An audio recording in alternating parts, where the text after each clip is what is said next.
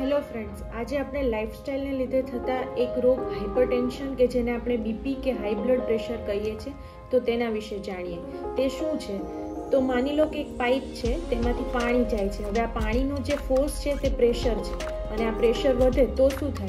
આ જ રીતે આપણી જે ધમની છે, એ પાઇપ છે અને પાણી જે છે, એ લોહી છે. હવે આ લોહી જ્યારે ધમનીમાંથી પસાર થતું હોય, તો તેનું જે પ્રેશર ધમની પર આવે છે, આ જ બ્લડ પ્રેશર છે.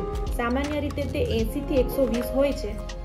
જ્યારે આપણે રૂટીન ચેકઅપ માટે બ્લડ પ્રેશર ચેક કરાવીએ તો નોર્મલ કરતાં થોડું વધારે હોય, પણ તે જો હાઈ બ્લડ પ્રેશરના સ્તરે ન જતું હોય, તો તેને પ્રી હાઇપરટેન્શન કહેવાય. મતલબ કે સંકેત છે કે તમારી લાઇફસ્ટાઇલ સુધારો, નહીતર હાઇપરટેન્શન જે છે, એ રાહ જોઈને જ બેઠું છે આવવા માટે. હવે જોઈએ હાઇપરટેન્શન તો હાઇપરટેન્શનના બે સ્ટેજ છે. એમાં એક સ્ટેજ છે કે જેમાં સિસ્ટોલિક પ્રેશર છે એકસો ત્રીસથી એકસો ઓગણચાલીસની વચ્ચે હોય અને ડાયસ્ટોલિક પ્રેશર એંસીથી નેવ્યાસી એમએમએફજીની વચ્ચે હોય.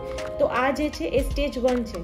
આ માટે કેટલીક દવાઓ અને લાઇફસ્ટાઇલ મોડિફિકેશનથી હૃદયરોગ અને સ્ટ્રોકનું જોખમ ઘટાડી શકાય. સ્ટેજ ટુ સ્ટેજ ટુમાં બ્લડ પ્રેશર રીડિંગ સતત એકસો ચાલીસ નેવુંની ઉપર જતું હોય, તો એ છે સ્ટેજ ટુ સ્ટે બ્લડ પ્રેશરના કોઈ પણ ચોક્કસ લક્ષણો નથી. આમ છતાં માથાનો દુખાવો, નબળાઈ, શ્વાસ લેવામાં તકલીફ જેવી સામાન્ય સમસ્યાઓ થઈ શકે. આનાથી બચવા માટે રોજિંદા જીવનમાં કેટલાક ફેરફાર કરવા, કસરતને દિનચર્યાનો ભાગ બનાવવો, ધૂમ્રપાન ન કરવું, દારૂનું સેવન ન કરવું, લો સોડિયમ અને લો ફેટયુક્ત આહાર લેવો. અને મહત્વનું છે કે રેગ્યુલર બ્લડ પ્રેશર તપાસો.